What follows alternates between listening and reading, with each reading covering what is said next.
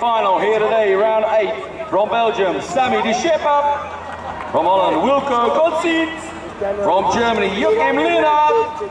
From Germany, Frank Klepper. From Germany, Thomas Kurowski. From France, Gilles Favre.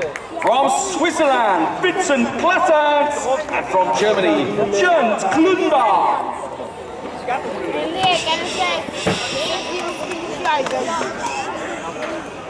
1. Oh, my guys, getting a bit of a wobble on Madigani. It's looking good from Switzerland. Taking over the lead. He's the man, Vincent Klassen. Klassen is looking good into the first corner. In and out of first corner. Where's Frank Lefebvre from Germany? He's there in about uh, three or four at the moment. He's looking good. The triple one is chasing him down. It's Jules Klunder from Germany. So we got Switzerland one, Germany two. Oh, now taking over to number 17. The number 17 is De Schepper. De Schepper from Belgium. But check out the Swiss rider, ladies and gentlemen. The Swiss rider, La Suisse. He's Vincent Klaasens. Vincent Klaasens, 45 and over cruiser. He's coming through to take the win.